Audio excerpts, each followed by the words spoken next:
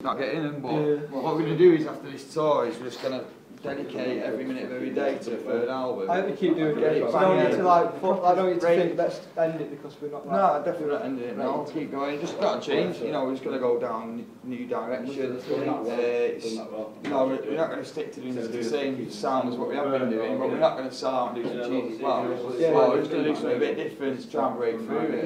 Yeah, I think uh, supporting Reverend did you a good job because a lot of mates that are like Yeah. started talking about it who didn't know about you before Reverend did. Yeah. So that that was kind of good. Yeah. We're playing them at Loughborough, aren't we? Yeah, Mosborough Festival. Are you are you doing that? What's that? That Mosborough Festival in Sheffield. Um, I don't know, are we doing that one?